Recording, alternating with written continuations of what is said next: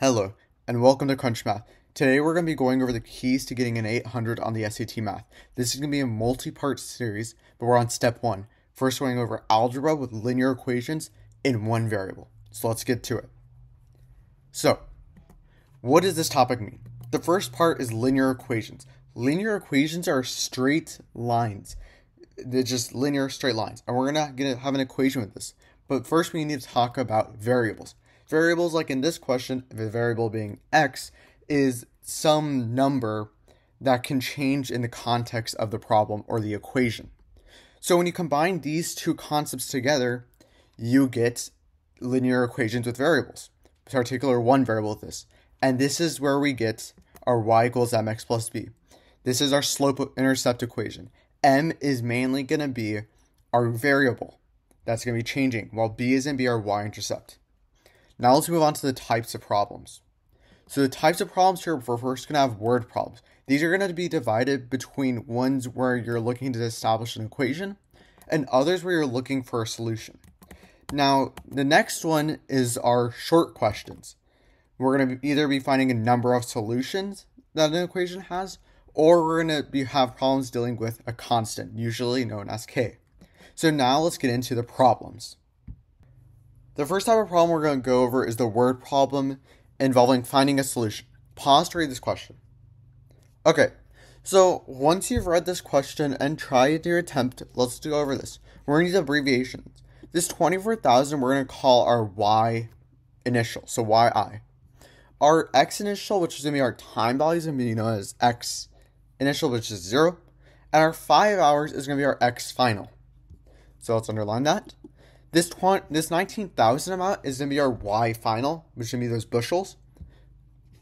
And this 12,800, we're just call it's just some Y value. And I'm going to abbreviate it later on as Y12. And we're looking for the number of hours, which is some value X.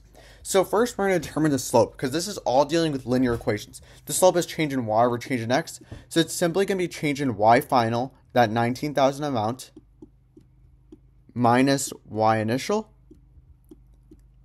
divided by 5 because that's a change in x. You can plug in new um, units, but it's really not necessary. So when you plug in and do the math, you should get something along the lines of negative 930. This is our slope. And now let's create a, an equation using y equals mx plus b, where b is going to be that 24,000 bushels of corn. Okay, so now you get this but we're going to plug in this 12,840 value for our y value. So now we're just changing this y to y of 12. And from here, it's just algebra. You subtract y of 12 from 24,000 and then divide it by negative 930. And what you're going to get the amount of time, our x value, is going to be equal to 12 once you plug everything into the calculator. That's how you'll quickly will solve this and we're going to get D. Now let's move on to our next type of problem. This is the second word problem. So pause to read this question. Okay. Once you paused it, we're going to get started. This is involving making the equation. He drives an average of 800 miles each week, 25 miles per gallon. He wants to spend $5 bringing down his cost, but it costs $4 per gallon. So let's look at this. If you're spending $4 per gallon, that's the same as spending $4 for that 25 miles. Right? And you can say this is $4 and this is going to be our miles. Now, if we look at everything multiplied by this fraction, there's going to be this m, which is how many fewer miles. Now, you can use unit conversions for this, which is the way I like to attempt it and the way it makes sense you see he wants to be left with only spending five dollars.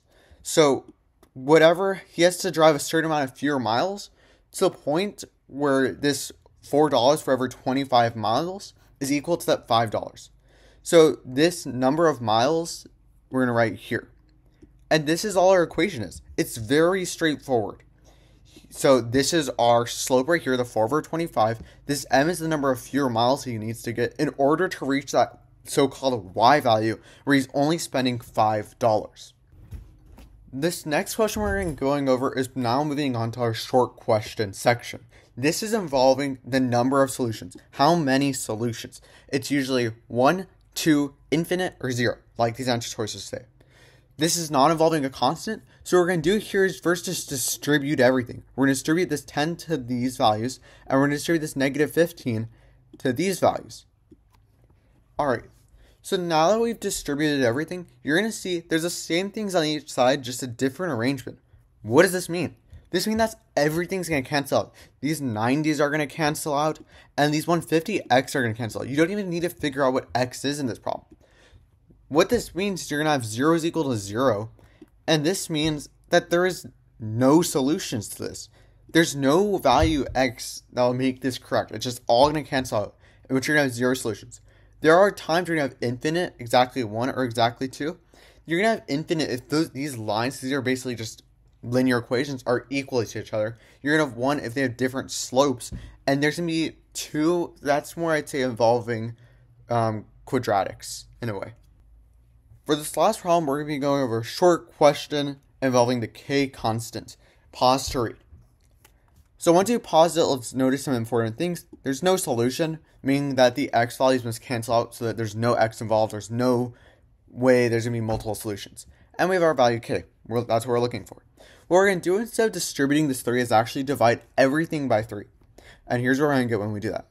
So once you get here, what we need to focus on is seeing that the 12 and the 13 don't really matter. We just need to focus on x. The x's need to cancel out. So you can then just set kx equals 48 over 51x. From this, you realize that k must equal our 41 over 58, but that can be simplified. And what you can simplify that down to is actually 16 over 17, since they have 3 in common. And that's all you have to do. You just have to realize that the x's just need to cancel out. Very quick and easy. And that's it for linear equations with one variable. These are the kind of four types of problems you'll see. You can get through them super fast. That's from Crunch Math.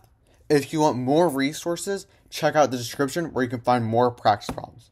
Thank you.